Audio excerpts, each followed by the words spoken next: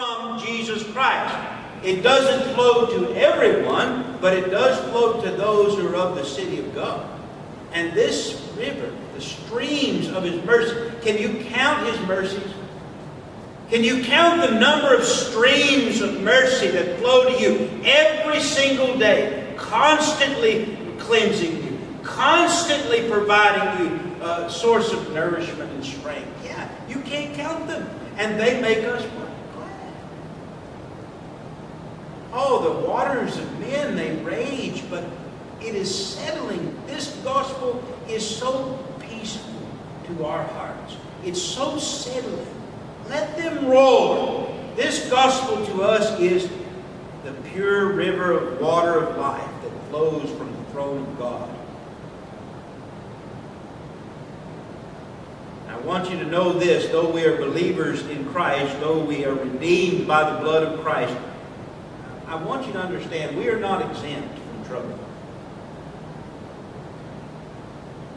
We are not exempt from the hatred of the world. We are not exempt from temptations and the sin and our sin nature that often wars against our soul.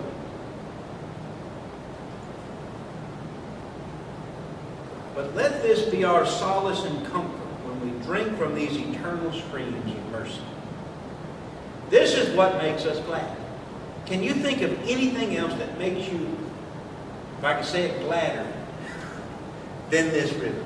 Is there anything that could bring joy to your heart any more than the streams of mercy that flow from God? No, because we are troubled, these streams make us glad. And I'll tell you this, the more troubled you are, the more glad you are for the streams. Isn't that right? You found that to be so? When everything seems to be well, we, we really often discard the streams.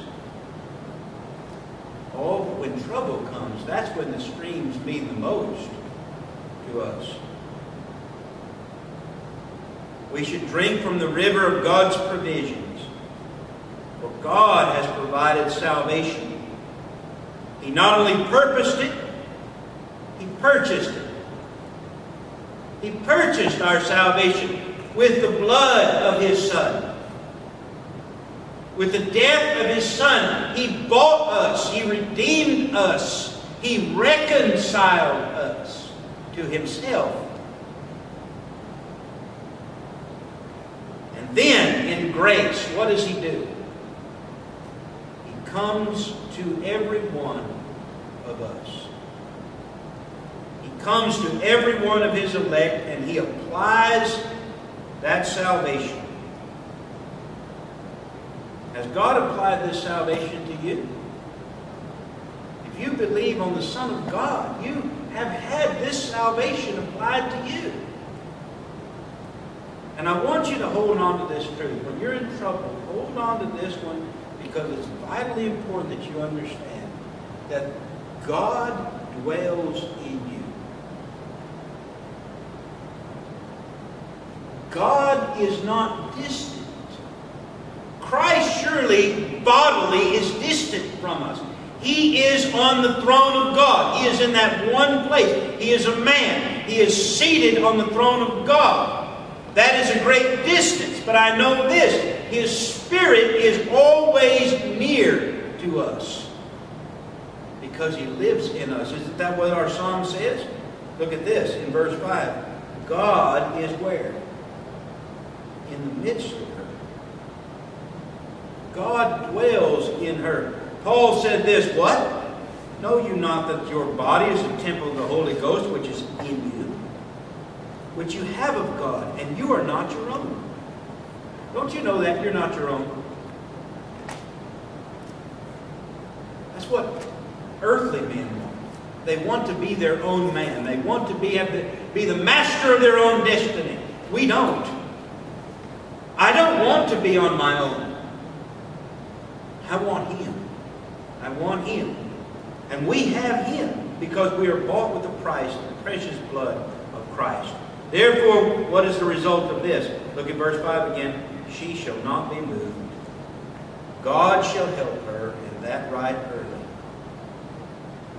The result of God's purpose and purchased salvation, when it is applied to us, gives us this assurance. When the Holy Spirit dwells in us, we shall not be moved. Our Lord, the great shepherd of the sheep, said, I give unto them eternal life, and they shall, they shall never, what? They shall never be moved. They shall never be moved. Every believer knows and feels that if left to ourselves, we could not keep ourselves in the faith. How often have you felt as though it were your responsibility to keep yourself in the faith and fail? How long does our zeal last when pressed on by the, the troubles and sorrows of the world? It doesn't last long. We cannot keep ourselves, but our joy and peace is that we are not keeping ourselves.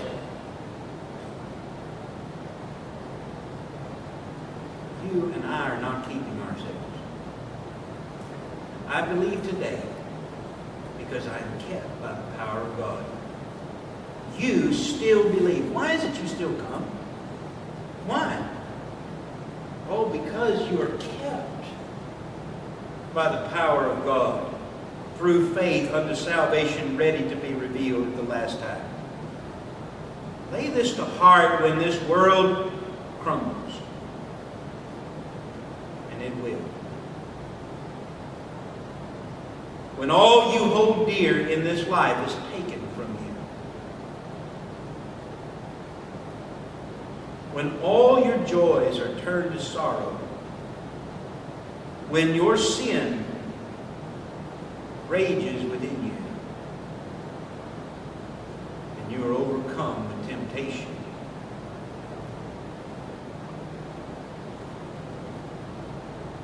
When Satan and his hordes ride hard to accuse us, let this be our banner. Nothing shall separate me from the love of God that is in Christ Jesus.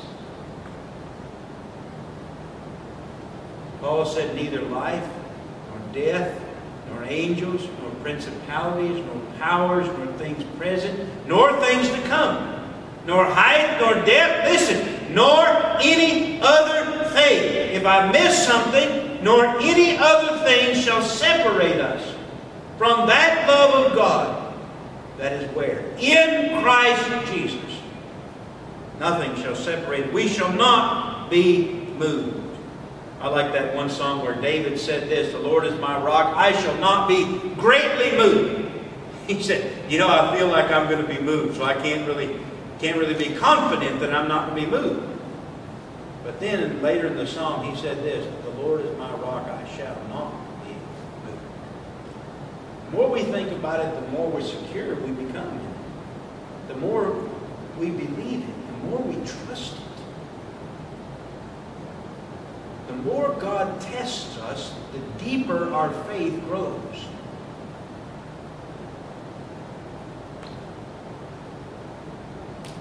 There's no power in earth, no scheme of man could ever pluck me from his hand.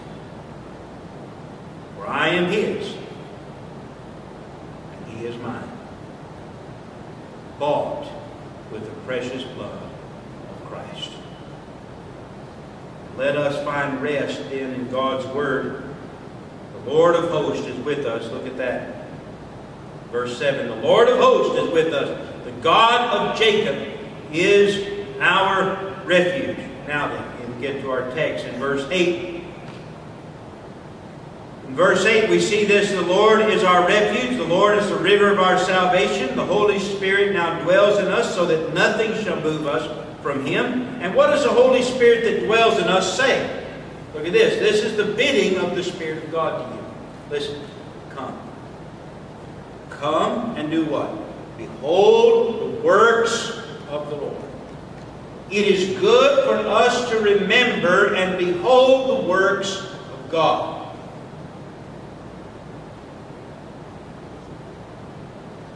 This is always the work of the Holy Spirit, isn't it? Point us to Christ. That's His job. That's His purpose in us. To always point you to Christ. If you have ever uh, that still small voice that comes in and says, Look to Christ, you know who that is? That's the Spirit of God speaking to you. Whenever you're in trouble and you can't find a way out, and the Spirit of God says, It is well. It is well with your soul. Look to Christ. Jesus told us when the Comforter shall come, he that I shall send to the Father, even the Spirit of the truth, which proceedeth from the Father, he shall testify of me. Any spirit that does not testify of Christ is not the Spirit of Christ. You got it? That is an important truth because there are many false spirits. There are many spirits going out into the world. Evil spirits, seducing spirits that speak of tongues and speak of miracles and speak of other men. They speak of man's goodness and man's uh, uh, value to God. No, that's not the Spirit of God. The Spirit of God always abases you and exalts Christ. Now that's the Spirit of God. And so then, when you are in trouble, when you are perplexed and confused and fearful, the Lord sends such troubles and storms into our life so as to seemingly contradict His promises. You found that out? You found out you've got a promise from God. What is that promise? All is for your good. All things work together for good to them that love God, them who are called according to His purpose. I know my thoughts of you, thoughts of peace and not of evil I will not turn away from you to do you good all the days of your life. And then what happens? Trouble comes. Evil comes. And then you begin to doubt the promises of God. How can this be? How can I suffer the loss so great and yet God say it's good? How can that be? These times, the Holy Spirit will come in in that small voice and say this Come. Stop thinking about you. Stop dwelling on the waves of the sea. And look to me. Come and behold. Consider the work Christ. Isn't that what Paul says when he said about our race? He said, let us run the race that is set before us. How? Looking unto Jesus. The author and what? The finish of our faith. Who for the joy set before him endured the cross, despising the same, sat down on the right hand of God. Consider him. Consider him. This morning, are you fainting? Are you weary? Are you confused? Perplexed? Then let us hear the word of God and consider him. First of all, consider the desolation.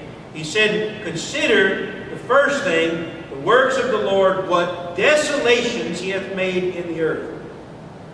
This word desolation means ruin.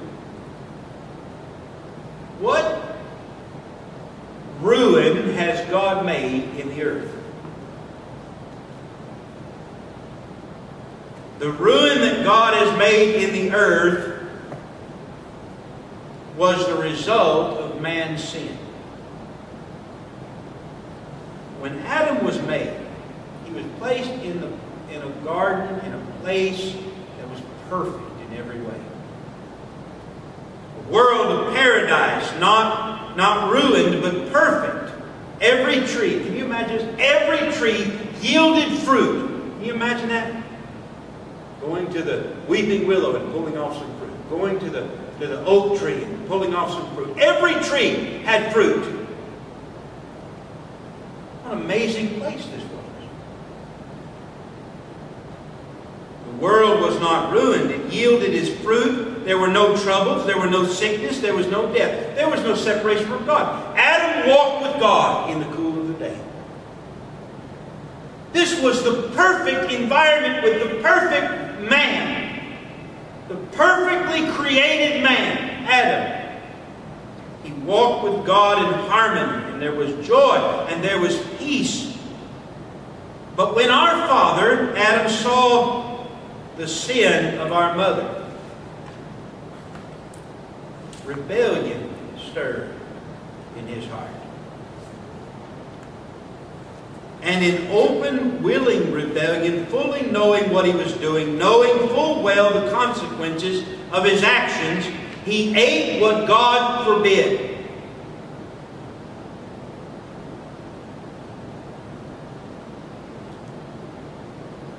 And behold, what desolation God this desolation was a just recompense for sin.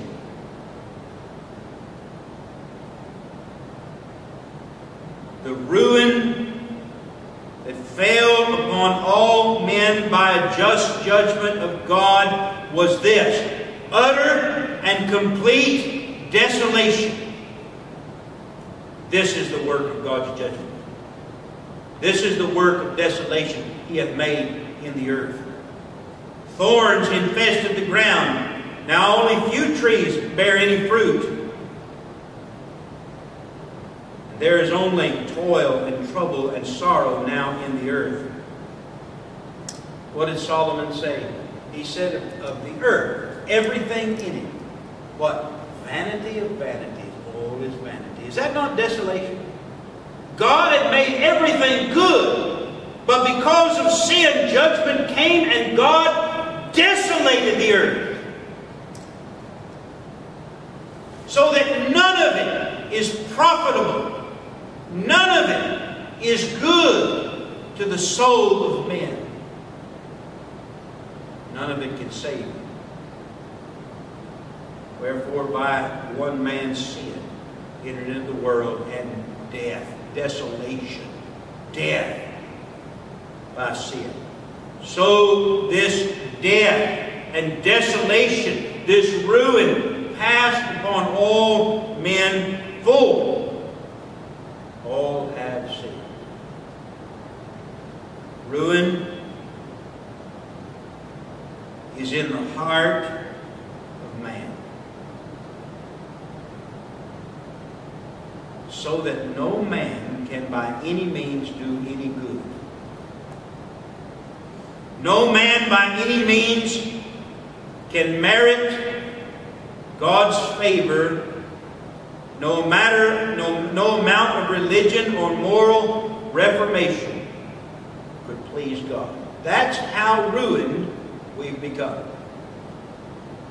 I know that religious men don't like to speak like this. Religious men want to give men a glimmer of hope. But they don't want to give them a glimmer of hope in Christ. They want to give a glimmer of hope in themselves.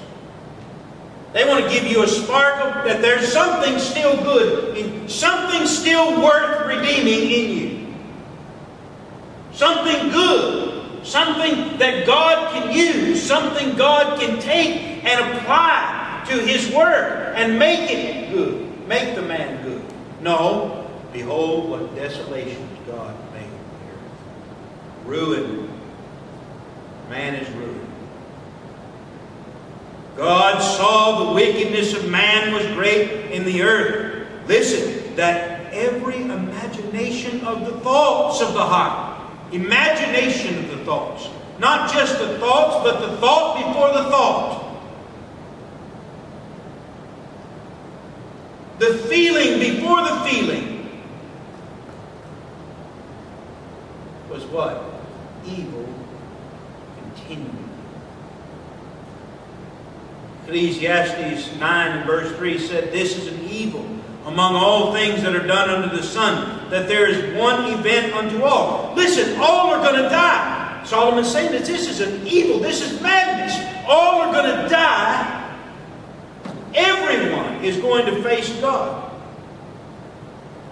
But what?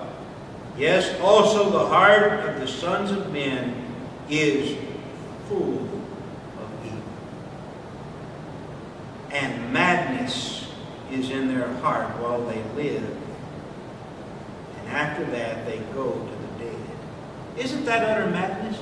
That is true ruin.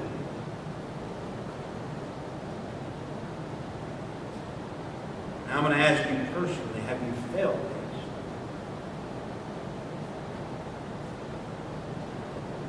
Have you felt the ruin and desolation God made in your own heart? Have you been convinced by the Holy Spirit of your ruin? That all we do is sin. That all we are is sin. From the sole of the foot to the crown of the head is no soundness, no goodness, no righteousness at all. And that what God did was just. You not see that? This desolation. Had you not seen that this is just right what God did? Natural man don't see that. They don't like it. They hate it. They blame God. What a horrible, evil God to make desolate the whole earth. No, what a just and holy and righteous God that made desolation in all the earth.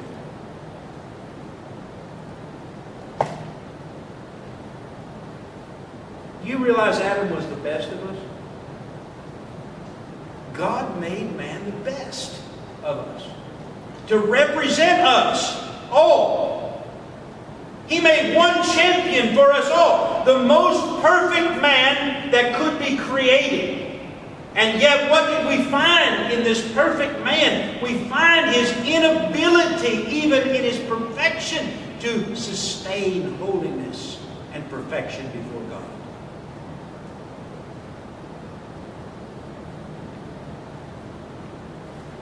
And we who know the desolation of our nature know also of the hope of salvation. We understand something of salvation, don't we? Because we first understand what desolate people we really are. But herein is hope. The desolations God hath made upon the earth testify to us of the holiness of God, and that only those that are holy can be accepted of God, which is not possible by the works of man. It was by sin that we were ruined. And in our hearts, the flame of rebellion raged against God. But now, the greater work of God is displayed. The better work of God is displayed in what? Look at this second part. He maketh wars to cease unto the end of the earth. He maketh what? Peace. Peace. When desolation was wrought, when sin entered into the heart, what came up? Rebellion came up. War against God. Isn't that what our Father did? He blamed God. He was at war with God. He was at odds with God. But see here, God comes and He does a better work. He makes peace. It was man who sinned. It was man who offended the justice of God. It was man who declared war upon God. Therefore, in justice, God ruined him. But God, who is rich in mercy, also made provisions of peace. Have you ever known an offended party to make provisions of peace?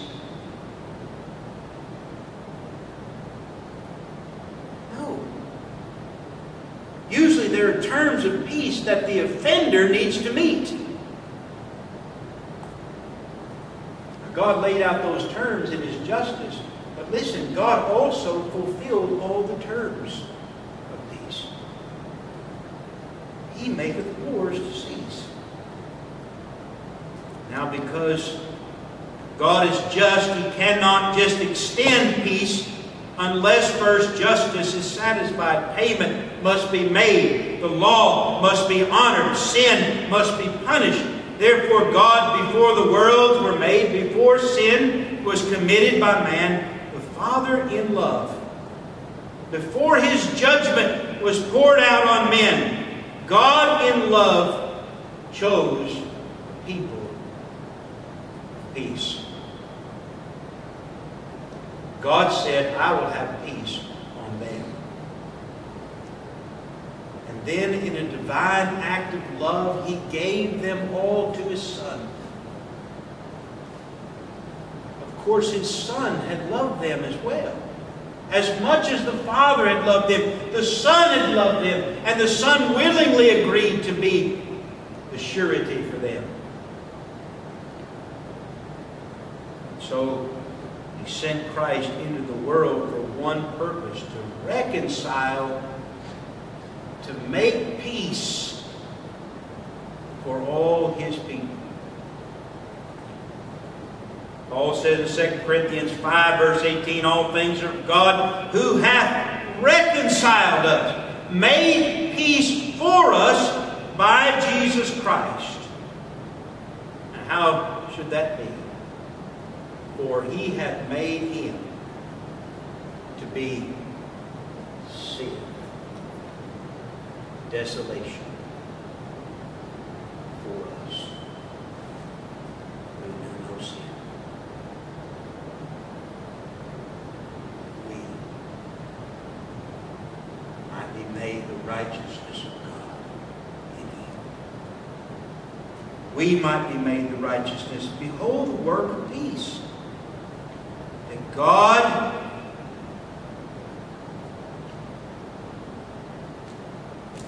God broke the bow of his own justice. He did it by aiming it at Christ. By releasing the arrow of his wrath upon Christ, there is no more justice to be had, no more use for the bow. If there are no more arrows, what good is a bow? So he broke the bow of his justice. No more need for that. He broke the spear in two, the spear of his Remember, that spear was plunged into the side of Christ. And seeing that justice was satisfied, God looks at the spear and says, No more need for that.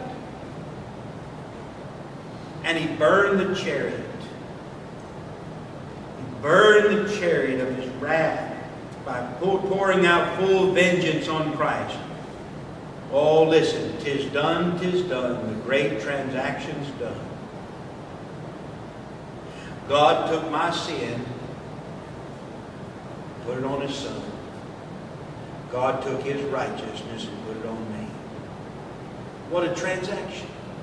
So now then, God looks at all of his people in what? Peace. Peace. But that's not how he found us, was it? He made peace long before we knew there was peace. Long before we desired peace. Long before we wanted peace. We walked in rebellion and hatred of God, despising His Word, despising His Son, just like every other man.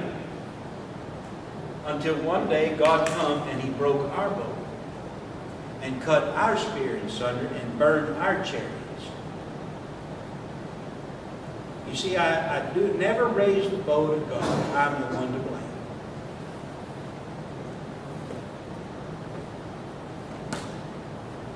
I know this. If he had not made peace for me, there would be no peace. But I know this, when he came into our souls, he conquered us. He conquered our souls. And now our hearts are set in what? Peace. Our chariots are burned. Lord, to whom else shall we go? We're not one to ride anywhere, are we? Burn that chariot. I ain't got any place to go. firmly set on the rock, Jesus Christ. He had made peace for me.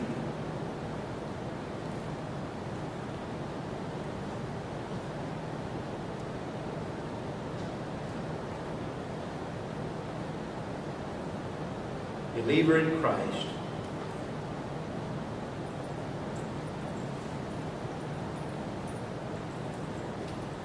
Consider this we who were rebels are now servants. But better yet, we are more than servants, we are sons. Sons. Sons of God. Now there will be wars upon the earth, there will be sorrows, there will be griefs. But this is our hope. He hath made peace by the blood of his cross. Though we were ruined, now we are what? Restored. You know what Jesus said? He said, I, I restored that which I took not away. I restored it. We're at peace with God. So what does God now say to us? Listen to this. Verse 10, Be still and know that I am God. Be still. Isn't that the most difficult thing to do in trouble? In conflict, in sorrow. Be still. God says, look at the desolation I've made and look at the peace I've accomplished. Isn't that what Isaiah said? He said, Look to the rock from which you were hewn and the pit from which you were digged. We constantly are looking at these things, being reminded of them so that we might just be still and know God is my refuge. And I'm sure of this. I'm sure that God will be exalted. Are you sure of that? It don't look that way, does it, right now? It doesn't look as, as though God is exalted anyway. You mark it down, God will be exalted. And everyone raising their fist right now will soon bow. They will soon bow. Every last one of them. But I know this, he will also be exalted in the earth right now. Now, this means that he will call all of his people. He will be exalted by his people right now in the earth. May God give us a heart to exalt Christ. One, He made peace. He is my refuge and very present